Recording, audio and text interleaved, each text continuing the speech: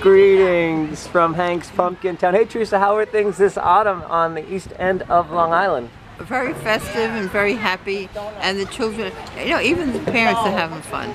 So you can't knock it. Now many folks put corn on the front door, so corn, corn on the cob has made its way into the Halloween season. Are you ready to give us some corn facts? I, I don't know them, but I'll, I'll, I'll flip the lid and I'll tell you the answer. okay, let's start Okay. with it. There are 12 states that make up the Corn Belt. Can you name them? I guess Iowa, Illinois. I'm kind of lost. I, I Let's let's go to the plate. if I have two right, it's at least 50%. Iowa, Illinois, Nebraska, Minnesota, Indiana, Ohio, Wisconsin, South Dakota, Michigan, Missouri, Kansas, and I Kentucky. didn't think Wisconsin would make. I thought it would be too cold there for them. Our next corn fact. 250. No, answer the question. How many kernels on an ear of corn? I'd say 250.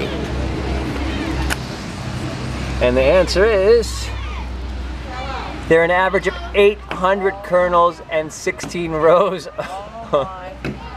It's a lot more corn. I must be giving out little corns. All right. Name some products we get from corn. Cornstarch, cornmeal, uh, Was Aiden with you guys? Guys, look at that! candy corn, candy corn, candy corn. and candy corn.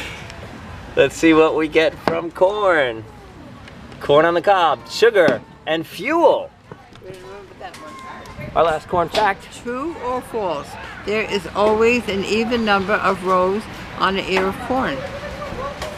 If I remember the first card, I would have known the answer, but I don't know. Uh, I would say it's it's.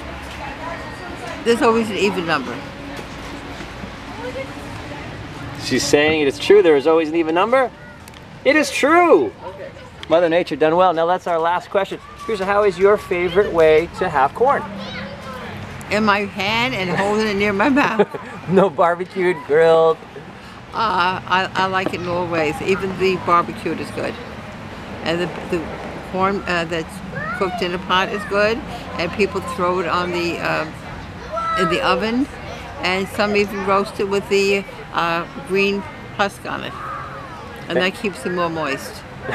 Thank you for sharing your knowledge from the farm. From Hank's Pumpkin Town. Till next time.